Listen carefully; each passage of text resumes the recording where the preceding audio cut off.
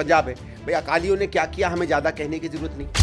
अकाली और बीजेपी जब साथ में तो उन्होंने क्या किया? हमें ज़्यादा कहने की ज़रूरत नहीं। कोई बाहर की पार्टी आकर अपने दो को दो सौ बताती और हर कदम पर हर क्लेम पर झूठ बोलती है और सरासर झूठ बोलती है और उसको अपने पेड वॉल्टियर्स के कारण अपने पैसे के कारण हज़ारों करोड़ों जो वो इश्तहार में खर्च करती है उस पर एक झूठ की, की प्रस्तुति देती है तब लगता है कि नहीं इस चीज़ को काउंटर करना चाहिए।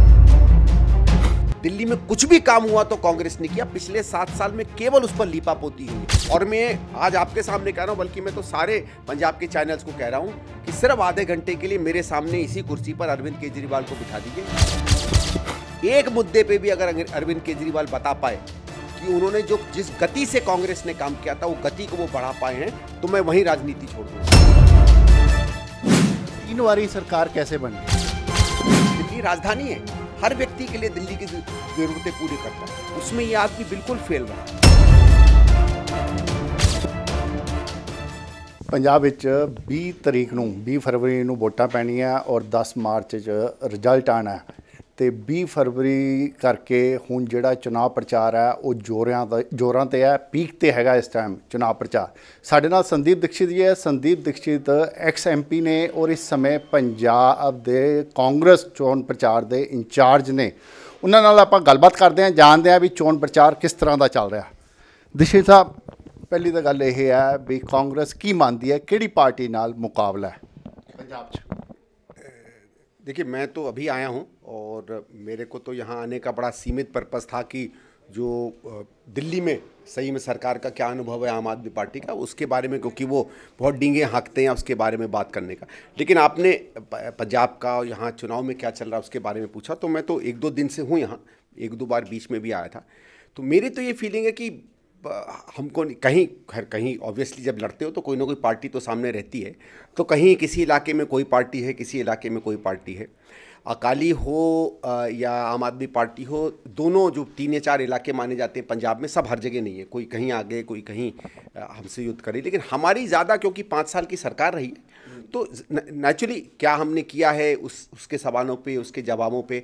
और जो पिछले तीन महीने से एक नई सरकार आई है उससे एक लोगों की और एक उम्मीद और आशा जागी है और उसने जो प्रोमिस किए मेरे ख्याल से उसको लेकर हम लोग ज़्यादा ज़मीन पर लड़ रहे हैं। कांग्रेस की सरकार रिपीट हो रही है?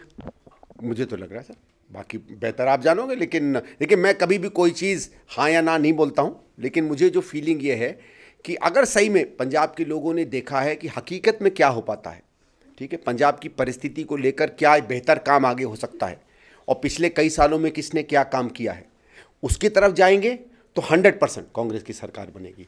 और अगर इधर उधर किसी का एक ये जो, एक झूठ तंत्र का जो कहानियाँ चलती हैं कभी कभी चल जाती हैं, ऐसा या कुछ लोगों में चल जाती हैं। तो वो जहाँ जहाँ चलेगा तो हो सकता है कुछ अकाली सीटें निकाल ले कुछ आम आदमी पार्टी सीटें निकाल लेकिन मुझे पूरा कॉन्फिडेंस है। सेकंड नंबर पर किसको मानते हो? जी? सेकंड नंबर पर किसको मानते हो? जब इलेक्शन का रिज़ल्ट आता है आपको क्या लगता है अभी सेकंड नंबर पर कौन सी पार्टी रहेगी? देखिए मुझे अभी इतना मैं नहीं कह सकता लेकिन मुझे अकालीस को हमें राइट ऑफ़ नहीं करना चाहिए। अकालीस का भी अच्छा होल्ड है पंजाब में। एक बात दिशी जी मुझे समझ नहीं आ रही। मैं सारी प्रेस कॉन्फ्रेंस अटेंड की है बहुत से लीडरों से मिला हूँ। मतलब कि हर एक पार्टी इस टाइम आम आदमी पार्टी को टारगेट कर रही है चाहे वो अकाली दल हो चाहे वो बीजेपी हो चाहे वो कांग्रेस हो। तो आम आदमी पार्टी ऐसी क्या बात होगी कि हर एक बंदे के टारगेट पे क्यों आ गई? क्यों पंजाब की जितनी पोलिटिकल पार्टियाँ हैं वो आम आदमी पार्टी को टारगेट कर रहे हैं? क्या रीज़न है? मेन रीज़न ये है कि देखिए क्या होता है आपके सामने जब कोई पार्टी आती है वो आगे क्या तस्वीर दे रही है और क्या नहीं दे रही है और उसका पीछे का काम क्या रहा है, ये सबको उजागर है। जैसे कांग्रेस, दिल्ली पंजाब है। भाई, अकालियों ने क्या किया? हमें ज़्यादा कहने की ज़रूरत नहीं। अकाली और बीजेपी जब साथ में तो उन्होंने क्या किया? हमें ज़्यादा कहने की ज़रूरत नहीं। कांग्रेस में अमरिंदर सिंह जी के अंदर या चन्नी जी के अंदर हमने क्या किया? किसी और पार्टी को ज़्यादा कहने की ज़रूरत नहीं। ठीक है? लोगों का अनुभव है और अनुभव उनके सच से जुड़ा हुआ है। लेकिन जब कोई बाहर की पार्टी आकर अपने दो को दो सौ बताती है और हर कदम पर, हर क्लेम पर झूठ बोलती है और सरासर झूठ बोलती है। और उसको अपने पेड वॉल्टियर्स के कारण, अपने पैसे के कारण, हज़ारों करोड़ों जो वो इश्तहार में खर्च करती है, उस पर एक झूठ की की प्रस्तुति देती है। तब लगता है कि नहीं, इस चीज़ को काउंटर करना चाहिए, क्योंकि हम लोग जितने राजनीतिज्ञ हैं, उससे ज़्यादा हम लोगों को कभी कभी बिल्कुल झूठ बयानी भी तो बुरी लगती है। इसलिए कम से कम कांग्रेस पार्टी उसको काउंटर कर रही है। देखिए, हमको तो बुरा इस बात का लगता है कि दिल्ली में अगर कोई विकास का मॉडल था तो कांग्रेस का बनाया हुआ था। दिल्ली में कुछ भी काम हुआ तो कांग्रेस ने किया। पिछले सात साल में केवल उस पर लीपापोती हुई। है और मैं आज आपके सामने कह रहा हूँ बल्कि मैं तो सारे पंजाब के चैनल्स को कह रहा हूँ कि सिर्फ़ आधे घंटे के लिए मेरे सामने इसी कुर्सी पर अरविंद केजरीवाल को बिठा दीजिए। एक मुद्दे पे भी अगर अरविंद केजरीवाल बता पाए कि उन्होंने जो जिस गति से कांग्रेस ने काम किया था वो गति को वो बढ़ा पाए हैं तो मैं वहीं राजनीति छोड़ दूँगा। तीन बारी सरकार कैसे बन गई? नहीं देखिए वो बनी है मुफ्तखोरी की। बहुत सीधी बात है। दिल्ली में कोई काम ऑलमोस्ट नहीं बचा था, शीला जी ने जब सरकार से 2013 में हटी। दिल्ली, देखिए, दिल्ली शहर है, ठीक है? शहर में दूसरी ज़रूरतें होती हैं, एक ग्रामीण प्रदेश जैसे पंजाब है उसकी अलग ज़रूरतें पूरी होती हैं। दिल्ली को इंफ्रास्ट्रक्चर चाहिए फ्लाईओवर चाहिए, अस्पताल चाहिए स्कूल चाहिए, उसको पानी की व्यवस्था चाहिए स्विच ट्रीटमेंट की व्यवस्था चाहिए, घर चाहिए। इसमें अभूतपूर्व काम हुआ। कोई ये नहीं कह सकता कि दिल्ली बिल्कुल नहीं बदली।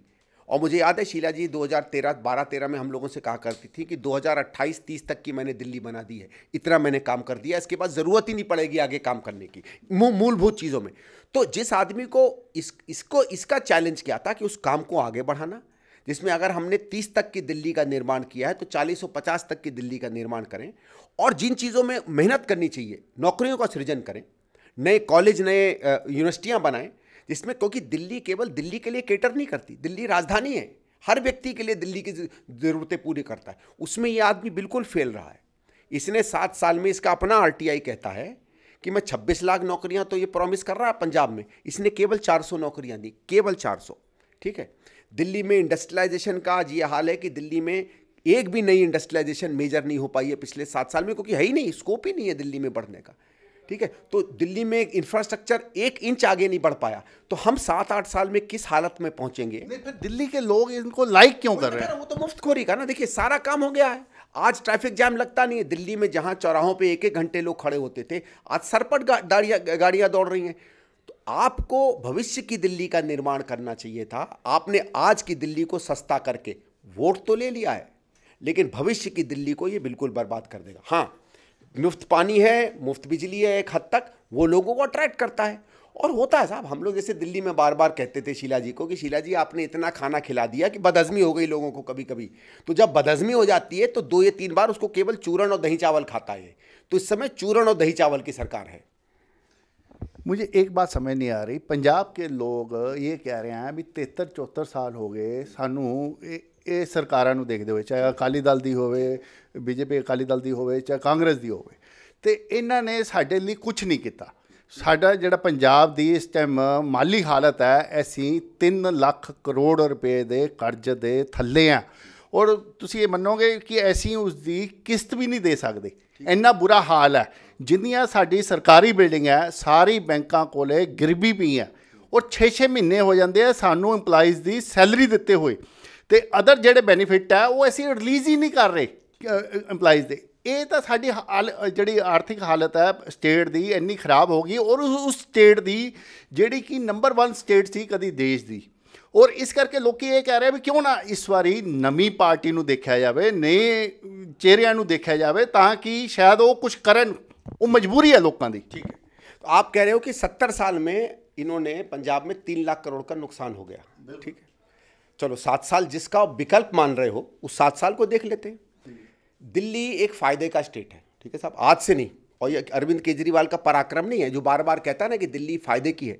दिल्ली को फ़ायदा 1998 99 से है। आप आरबीआई उठा के देख लो बजट का एनालिसिस जो होता है, दिल्ली ने हर साल फ़ायदा किया है। कभी 6000 करोड़ कभी 5000 करोड़ बल्कि 2009-10 में जब कॉमनवेल्थ के गेम हुए थे तब सबसे ज़्यादा फ़ायदा था। दस दस हज़ार करोड़ का हमारा सालाना फ़ायदा था दिल्ली सरकार को। दिल्ली कभी घाटे की सरकार नहीं रही है क्योंकि कोई खर्चा ही नहीं है भाई। जैसे मैंने कहा कृषि पे खर्चा नहीं ग्रामीण विकास पे खर्चा नहीं इंडस्ट्री पे हम दो रुपया नहीं देते किसी को खर्चा क्या हमारा? तो लेकिन किया क्या इसने? जैसे मैंने अभी आपको अभी आंकड़े दिए थे। हमारी पंजाब में अगर तीन लाख करोड़ का कुल नुकसान है तो दिल्ली का डेढ़ लाख करोड़ का हो गया है। जब इनकी सरकार आई थी तो दिल्ली जल बोर्ड और डीटीसी और सरकार का जो पूरा लोन होता भारत सरकार को उसको मिला लें तो करीबन पचास हज़ार करोड़ के नुकसान में हम थे। सात साल में एक छोटे से प्रदेश में जिसका कोई खर्चा नहीं होता, इसने पूरा नुकसान कर दिया आज डेढ़ लाख करोड़ का। मेरे पास आरटीआई पड़ा, देख लो। साठ हज़ार करोड़, एक लाख करोड़ तो डीटीसी और जल बोर्ड में ही केवल, और चालीस हज़ार करोड़ का आज वो ऊपर लोन हो गया है। दूसरा, एक और चीज़ मैं आपको बताऊँ हर साल हम लोग एक परसेंटेज में टैक्स आता था। आपको मालूम होगा, एक होता है कि भाई जितना जीडीपी है, उसके हिसाब से कितना टैक्स लिया। लोगों को क्यों उस आंकड़े में फंसाएँ? अगर जो रेट कांग्रेस करती थी, हमने कम से कम पिछले सात साल में बत्तीस हज़ार करोड़ का नुकसान किया है अरविंद केजरीवाल की सरकार में। कांग्रेस के समय का अगर टैक्स चल रहा होता तो आज बत्तीस हज़ार करोड़ का हमें और फ़ायदा हो रहा होता। खैर, उसको छोड़ दीजिए। तो जिस सरकार ने सात साल में एक लाख करोड़ का नुकसान कर दिया, उस प्रदेश में जहाँ कोई खर्चे नहीं होते तो जिस प्रदेश में सत्तर साल में तीन लाख करोड़ का नुकसान हुआ है, पाँच साल कहीं गलती से इनको आपने सरकार दे दी तो दस लाख करोड़ के नुकसान पे पंजाब को छोड़ेगी। मेरा यह है, जिन पार्टियों ने आपके लिए उस तरीके से काम नहीं किया, जो आपको शायद लगता था, हो सकता है, हो सकता है उनको आप करिए, लेकिन विकल्प तो वो चुनिए, जिस विकल्प में कुछ ठोस हो। भाई, मैं मैं बस में चलता हूँ, बस मेरी खराब है तो उसका ये मतलब थोड़ी मैं साइकिल पकड़ लूँ, है ना? विकल्प तो सही पकड़िए और इसके झूठ पे मत जाइए। मैं आपसे कहता हूँ आज भी चाहे दिल्ली सरकार के फ़ायदे की बात हो चाहे इसके करप्शन की बात हो कोई हो आप किसी भी आम आदमी पार्टी के आदमी को कुर्सी में मेरी बगल बिठा लीजिए। आप मान साहब से कहिए आप बहुत बड़े नेता हैं। सीएम बनने के पहले मुझसे दो दो हाथ कर लो ना इस इस में, सामने बैठ के। मैं अपने आंकड़े ले आऊँगा और आप मैं भी आपकी सरकार के लाऊँगा। ये कांग्रेस के दस्तावेज़ नहीं है। ये अरविंद केजरीवाल के सरकार के आरटीआई है। वही दिखा देगा कि मुख्यमंत्री सड़क पर कितना सफ़ेद झूठ बोलता है। मुझे ये लग रहा है आपका दर्द जो है ना वो बोल रहा है क्योंकि पंद्रह साल शीला दीक्षित जी आपके मदर थे वो सीएम रहे हैं और पिछले तीन बार से आप लगातार हार रहे हो और ये जो दर्द है ना केजरीवाल के खिलाफ आपका दर्द बोल रहा है। क्योंकि शमशेर सिंह दुल्लो जो। कि आप ही की पार्टी के प्रधान रहे हैं राज्यसभा के मेंबर हैं वो कह रहे हैं कांग्रेस पार्टी ने टिकटें जो हैं इस बार सेल आउट की हैं बेची हैं। आपकी पार्टी के ही लीडर आप पे लगातार इल्ज़ाम लगा रहे हैं। देखो, पहली चीज़ तो बात दर्द की। बात दर्द की नहीं है। हमें कोई फ़र्क नहीं पड़ता, सरकार आएगी, सरकार जाएगी, हम लोग बड़ी पार्टी है रहे हैं जगह। बात इसकी नहीं बात यह है कि जब आपके काम को कोई अपना बताए, ठीक है? आप, मैं आपको छोटी बात करता हूँ, आप सड़क पर जा रहे हैं। बगल का बच्चा बहुत बढ़िया काम कर रहा है, आपको अच्छा लगता है। लेकिन आपका बेटा आगे बढ़े आप उसको संवारें, आप उसको एम ए बी ए कराएँ और बगल वाला कह दे, ये मेरा बेटा तो आपको कैसा लगेगा? बात उसका दर्द है, बात झूठ का है, फरेब का है। हमें कोई दिक्कत नहीं, आप, हम तो आज भी कहते हैं ना, फ्री फंड में आपने अच्छा काम किया है। किसी ने कहा अच्छा काम नहीं किया। आपने जनता को मुफ्तखोरी की आदत डाल दी डाल दी और मैं तो ओपनली कहता हूँ दिल्ली के लोगों को। यहाँ आपके सामने नहीं कहता, मैं तो कहता हूँ कि लोग मुझसे पूछते हैं, आप दिल्ली में क्यों राजनीतिक रूप से सक्रिय नहीं है? मैं कहता हूँ कि मैं मुफ्तखोरी में विश्वास नहीं करता। मैं लोगों को सरकार पर निर्भर नहीं बनाना चाहता। इसलिए मुझे दिल्ली में आज भी एक वोट नहीं मिलेगा। अगर सही में मुझे करना होता तो मैं कहता, क्या है? मैं तो सौ परसेंट उसको फ्री कर दूँगा। लेकिन मैं उस राजनीति में नहीं पड़ता। तो दर्द हारने का नहीं है, दर्द झूठ का और फरेब का है। जहाँ तक दिल्लों की बात है, साहब, ये हर पार्टी में होता है। आपको जब टिकट नहीं मिलता है, टिकट कट जाता है तो यहाँ पर भाई, क्या पहली बार हुआ है कि इल्ज़ाम लगाए कांग्रेस में कि पैसे से टिकट बंट रही है? आज नहीं है, पहले भी हुआ है। पहले भी होता रहा, जब आप, ये होता है कि जब आपको टिकट मिलती है तो पार्टी बहुत अच्छी है। जब टिकट नहीं मिलती हैं तो पार्टियाँ खराब हो जाती हैं। मैं तो ये कहता हूँ ना कि अगर पार्टी खराब है तो आपने टिकट क्यों मांगी? बात, सवाल तो इस बात का पड़ता है ना कि आप पार्टी के अच्छी साइड में हैं तो पार्टी अच्छी है। इसलिए मुझे कभी कभी बुरा लगता है। देखिए, मेरी टिकट कटी। मैं आज कांग्रेस में बिल्कुल हाशिए पे हूँ। ठीक है? मुझे को किसी दिल्ली में भी मुझे कहीं नहीं बुलाया जाता, क्योंकि मैं बात सच कहता हूँ, ठीक है? मैं अपने लीडरशिप से भी सवाल पूछता हूँ। ग्रुप ऑफ़ ट्वेंटी थ्री में मैंने भी दस्तखत किए थे, लेकिन मैं बिटर नहीं हूँ। मैं आज यह अपने मन से आया हूँ पंजाब में। पंजाब में कांग्रेस जीतेगी, कांग्रेस हारेगी, एक कार्यकर्ता के रूप में मुझे उसकी खुशी होगी, वो अलग बात है। मुझे कुछ मिलेगा तो नहीं। लेकिन डिल्लो जी की तरह मैं ये तो नहीं कहता कि दिल्ली में ये बिक गया, वो बिक गया। भाई पार्टी, हमारा प्रेम पार्टी के प्रति है या पार्टी पद थे तब उसके प्रति। अगर पद वाले लोग हैं तो ठीक है, फिर तो क्या फ़र्क पड़ता है? दुर्भाग्य की बात ये होती है कि जो पार्टी के लोग होते हैं, वो लोग पार्टी के लिए लॉयल रहते हैं तो उनको कभी टीवी में जगह नहीं मिलती। जो दो बार गाली गलौज कर देते हैं, उनको जिसको कहते हैं ना, दो दिन की चांदनी होती, वो मिल जाती है। मैं बड़े सीनियर लीडर से करूँगा कि पार्टी ने आपको बहुत कुछ दिया है, देश को बहुत कुछ दिया है, प्रदेश को बहुत कुछ दिया है। आगे भी मौका आएगा। दीक्षित जी यदि मतलब कि पंजाब में कांग्रेस सरकार बन गई तो फिर कुछ भी फ्री नहीं ना मिलेगा। नहीं, ऐसा नहीं है। देखिए, बात फ्री की नहीं है। बात यह है, देखिए, एक क्रिटिकल चीज़ आप समझिए। आदमी इसको सब्सिडी कहते हैं ना सरकार की तरफ़ से। आप क्या सब्सिडी उस जगह दे रहे हैं जिससे आजीविकाएँ बनती हों? जिससे जो हमारी अर्थव्यवस्था है वो बेहतर होती हो? देखिए, जब हम डीजल में, कांग्रेस भी डीजल में सब्सिडी देती थी, क्यों देती थी? उससे खेती किसानी चल जाती है, उससे महँगाई कम होती है। ठीक है? किसान की जेब में नहीं जाता था। फर्टिलाइज़र जब हम लोग, फर्टिलाइज़र में अस्सी हज़ार करोड़, एक लाख करोड़ की हम लोग सब्सिडी देते थे। तो फर्टिलाइज़र की सब्सिडी में क्या होता है? किसान उसको इस्तेमाल करेगा, उत्पादन बढ़ेगा। उससे हिंदुस्तान में जहाँ भुखमरी थी, वो भुखमरी खत्म होगी। जब हम इंडस्ट्री को देते हैं कि ठीक है साहब, अगर आपको तीन रुपए की बिजली मिल रही है हरियाणा में तो हमारे यहाँ पौनी तीन रुपए की मिलेगी तो इंडस्ट्री आती है पंजाब में। जब पंजाब में इंडस्ट्री आती है तो पंजाब के बच्चों को तनख्वाह मिलती है। जब पंजाब के बच्चे कमाते हैं तो उन्हें फिर बिजली की सब्सिडी की ज़रूरत नहीं पड़ती है। ये है लोगों को सरकार पर निर्भर बना देना, डिपेंडेंट बना देना। आपने उनकी आजीविकाओं को, उनके जॉब को नहीं बनाया सस्टेनेबल। आपने अपनी राजनीति कमाई। कांग्रेस जब पैसा खर्च करती थी या कोई भी जिम्मेदार सरकार जब सब्सिडी देती है तो हम उस जगह देते हैं जिसमें पूरी व्यवस्था बेहतर हो।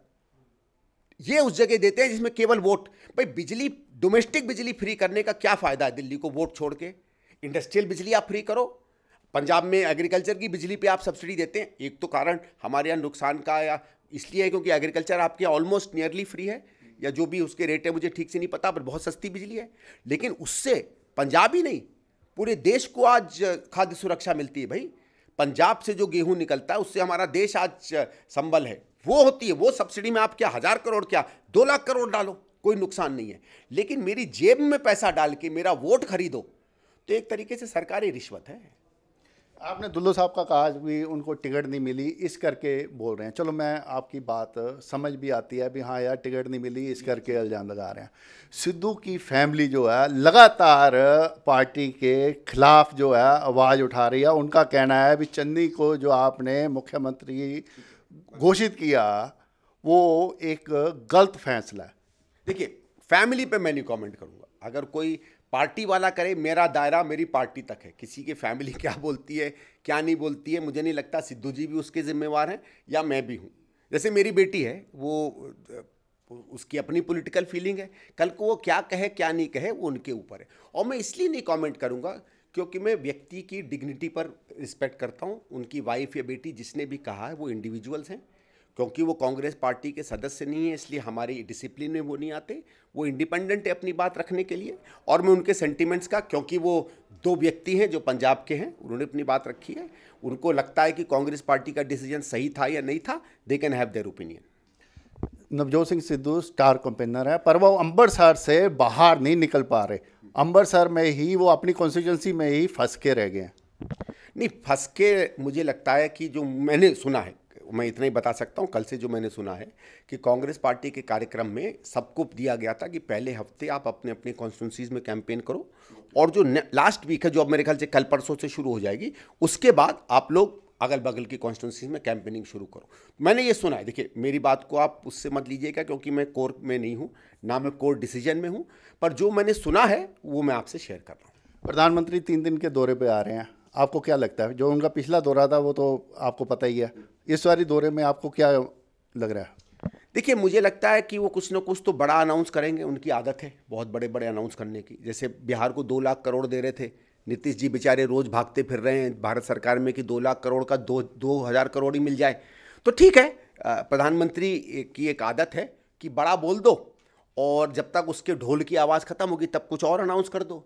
जैसे आज तक हम स्किल इंडिया का इंतज़ार कर रहे हैं अब आत्मनिर्भर इंडिया का इंतज़ार कर रहे हैं। साल एक भर में कोई और नया स्लोगन आ जाएगा। तो ये ठीक है, मैंने तो अब देखा है, बड़ा दुर्भाग्य से कहना पड़ता है और मैं प्रधानमंत्री के पद का सम्मान करता हूँ। लेकिन हमारी प्रधानमंत्री, जैसे दिल्ली के सीएम हैं एंटरटेनर हो गए हैं। मतलब जब तक तीन घंटे पिक्चर चले, तब तक ठीक है। फ़र्क केवल ये है कि पिक्चर वाले अपने पिक्चर के तीन घंटे बाद लिख देते हैं दी एंड ये लोग दी एंड नहीं लिखते, बस इतना ही फ़र्क है इनमें पिक्चर में। अब बारी बार दिल्ली सीएम की बात करते हैं। आज तो उनकी वाइफ और उनकी बेटी भी पंजाब में प्रचार के लिए आई हुई हैं। सर, वो तो हैं। अच्छी बात है, वो तो आना चाहिए। जो पार्टियाँ कहती थी कि हम लोग परिवार में नहीं विश्वास करते, वो अपने परिवारों को भी लगा रहे हैं। तो वो तो भाई, ये इन्होंने छः सात साल में वो सारे गुण ले लिए, या वो सारे अवगुण ले लिए, जिनके कारण से हम बाकी पार्टियों पर सवाल किया करते थे। हर पार्टी में गुण अवगुण होते हैं। यही है कि दूसरे पार्टी के आप गुण सीखो। अवगुण सीखना कमज़ोर आदमी की निशानी होती है बाकी आप समझ लो थैंक यू ये दे संदीप दीक्षित जी जो कि एक्स एम हैं और इस समय पंजाब कांग्रेस के प्रचार अधिकारी हैं प्रचार इंचार्ज हैं और शीला दीक्षित इनकी मदर थी और 15 साल दिल्ली में सीएम रही हैं ਔਰ ਇਹਨਾਂ ਦਾ ਕਹਿਣਾ ਹੈ ਕਿ ਜਿਹੜਾ ਪੰਜਾਬ ਅਗ- ਅਗਰ ਆਮ ਆਦਮੀ ਪਾਰਟੀ ਨੂੰ ਇਸ ਚੁਣਾਵ 'ਚ ਚੁਣਦਾ ਜਾਂ ਆਮ ਆਦਮੀ ਪਾਰਟੀ ਦੀ ਸਰਕਾਰ ਬਣਦੀ ਆ ਤਾਂ ਉਹ ਲੋਕਾਂ ਨੂੰ ਧੋਖਾ ਦੇਗੀ। ਜਿਸ ਕਰਕੇ ਵੀ ਜਿਹੜਾ 3 ਲੱਖ ਕਰੋੜ ਦਾ ਇਸ ਸਮੇਂ ਪੰਜਾਬ ਦੇ ਉੱਤੇ ਕਰਜ਼ਾ ਹੈ, ਉਹ ਵੱਧ ਕੇ 10 ਲੱਖ ਕਰੋੜ ਦੇ ਆਸ-ਪਾਸ ਪਹੁੰਚ ਸਕਦਾ ਮੈਂ ਦਿਨੇਸ਼ ਕੋਲ ਕੈਮਰਾਮੈਨ ਉਮਾ ਜਾਬ ਦੇ ਨਾਲ ਦੈਨਿਕ ਸਵੇਰਾ ਟੀਵੀ ਲਈ ਚੰਡੀਗੜ੍ਹ ਤੋਂ।